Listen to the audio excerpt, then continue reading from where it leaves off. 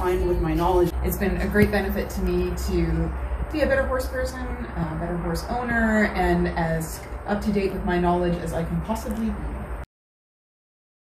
With my Guelph courses, I was able to look a little bit more into stereotypies and do a project on them, and also as how they affect racehorses. And uh, what I find with my knowledge is that I can have discussions with customers about how perhaps cribbing isn't something that they pick up from other horses.